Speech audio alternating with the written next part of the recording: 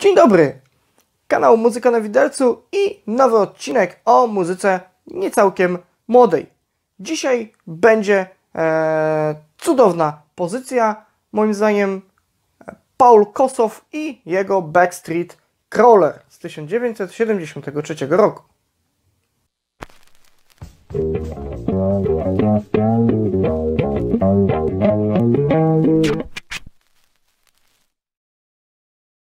Zanim przejdę do zawartości krążka, chciałbym powiedzieć parę słów o samym Kosofie.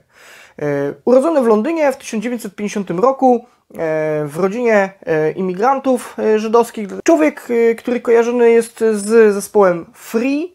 Ważne jest to, co działo się za jego nastoletniego życia, bo już w wieku 8 lat po koncercie Tonego Steela ubłagał rodziców o pierwszą gitarę. Był młody Kosow, młody Paul, był pod wrażeniem muzyki. W wieku 13 lat zaczął pobierać pełne profesjonalne lekcje gitary, a w 1965 roku wybrał się na koncert Johna Mayala ze, ze składem Blues Breakers, w którym brylował Eric Clapton. No i nie trudno się domyślić, że młody Paul e, zbierał szczękę z podłogi, no i tym bardziej zapragnął e, zgłębiać wiedzę, zgłębiać umiejętności grania na tym instrumencie.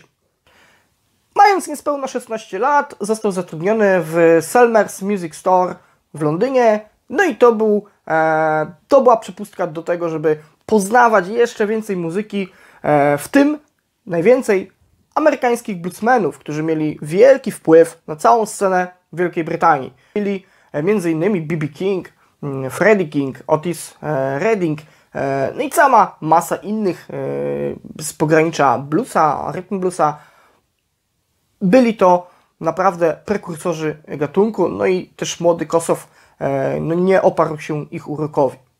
W 1966 roku Kosow trafił do zespołu Black Cat Bones, gdzie poznał Simona Kirka, perkusistę, z którym miał później przejść do zespołu Free.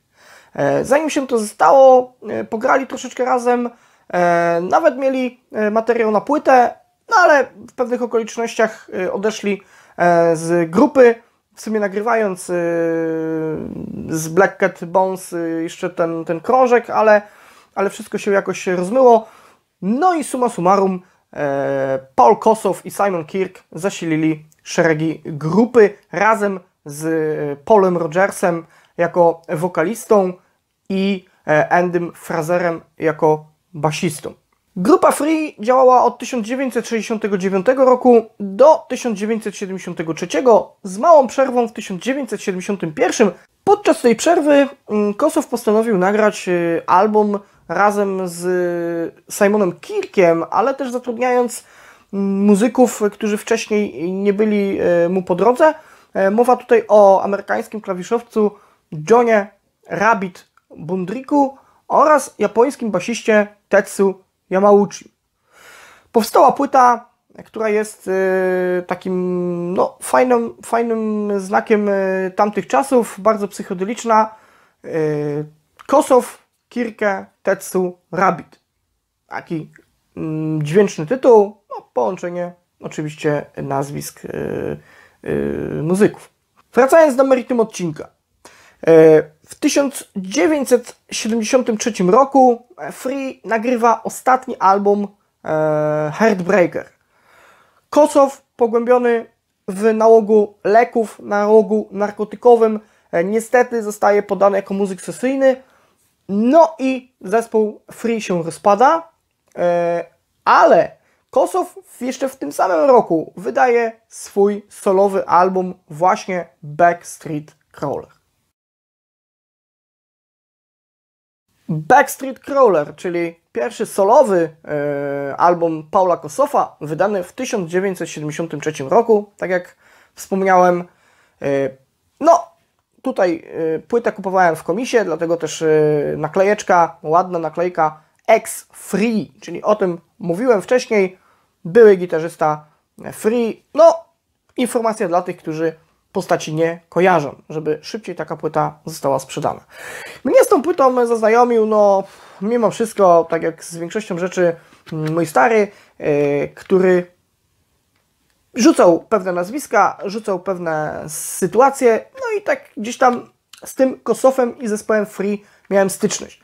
E, szczerze, krótko, Free wyjątko, wy, wyjątki, a Kosow solowym albumem bardzo mnie ujął. Ja tą płytę poznałem e, dosyć późno, no ale powiedzmy, że od razu zaiskrzyło.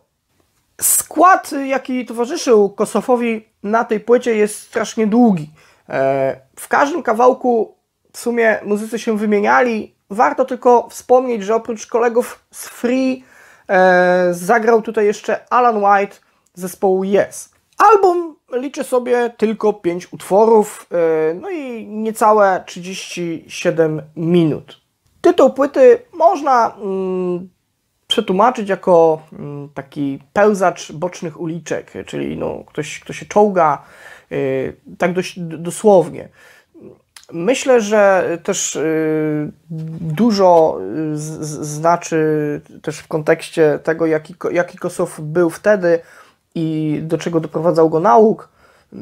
Bije z tej muzyki tutaj na tym krążku taka tęsknota, jakaś nostalgia, ale z jednej, z drugiej strony mm, pełno jest tutaj ognia, emocji. To wielka mieszanka bluesa, rocka, psychodelii. Utwory, które znalazły się na krążku, yy, ociekają wręcz yy, takim graniem typowo dżemowym, zwłaszcza pierwszy Tuesday Morning, który liczy sobie 17 minut i jest podzielony w takie trzy czy cztery etapy mm, od takiego bardzo swobodnego, rockowego grania przez y, nostalgiczne e, klawiszowe pasaże, czy też taką końcówkę w ogóle rozmarzoną. Y, no jest, jest kapitalny, warto sobie go głośniej posłuchać. E, muzyka mm, no, sama płynie i, i, i pokazuje, jakim Kosow był jednak świetnym kompozytorem. Umiał y, napisać bardzo, bardzo udane rzeczy. E, jedynymi utworami, których nie napisał jest e, dwójka I'm Ready. E, tutaj autorami są Jess Rodin i Jean Roussel.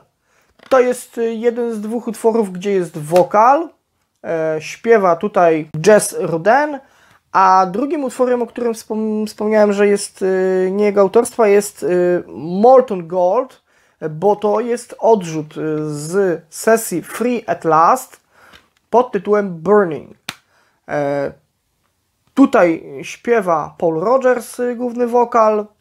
Grają muzycy, którzy grali właśnie e, z Kosofem we Free. No, nieuniknione, ponieważ, tak jak mówię, jest to odrzut, ale utwór bardzo piękny, właśnie taki snujący się, e, wzruszające wokale, współwokale. Naprawdę, mm, no, chwyta, chwyta za gardło pokazuje właśnie tą nostalgię e, w tej muzyce, właśnie ten, ten, ten znacząco. E, Time Away też jest e, ciekawym utworem, zresztą może to brzmi tutaj tak troszeczkę banalnie, co mówię, ale cały Backstreet Crawler to jest muzyka, która no, porusza do głębi, to nie, nie ma yy, półśrodków. Po e, wydaniu Backstreet Crawler y, Kosow założył zespół y, o takiej samej nazwie. Nagrali jedną płytę w 1975 roku. No nie była ona jakoś wybitna.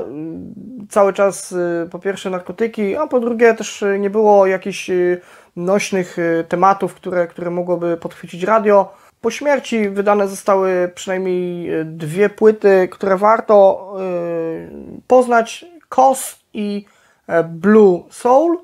Kosop zmarł w samolocie lecącym z Los Angeles do Nowego Jorku.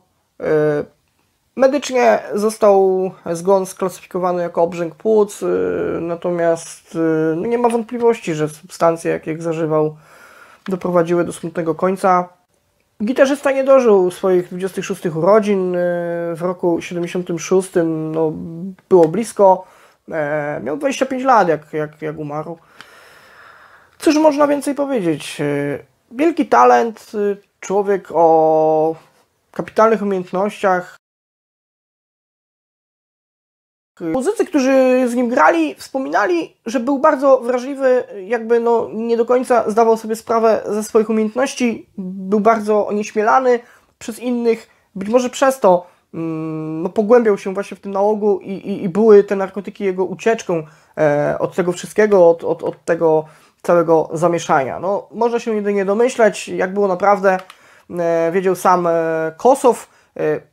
E, takim smutnym faktem jest to, że od 15 roku życia tak naprawdę miał predyspozycję do uzależnienia i też narkotyki, leki były w jego życiu, no, no w sumie prawie, że od, od nastoletnich lat. W chwili śmierci Kosow miał zaledwie 25 lat, więc może to nie czyni z niego e, gwiazdy tamtego czasu, chociaż pewnie nie chciałby być tak ocenianym, ale do klubu 27 zabrakło raptem dwóch lat. Może wtedy o Paulu Kosofie mówiono by więcej e, w radiu, w prasie, w telewizji, e, dołączając do Jimmy'ego Hendrixa, Janis Joplin, Jima Morrisona, możliwe, że Paul Kosow stałby się ikoną tamtych lat.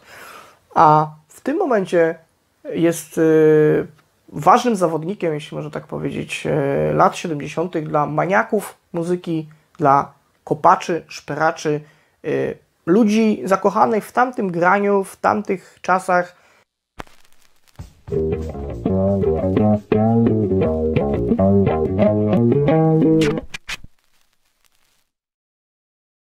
Cóż, y, jeśli film się spodobał, to zachęcam do komunikowania o tym, jakiś komentarz, jakieś y, kliknięcie tu i tam.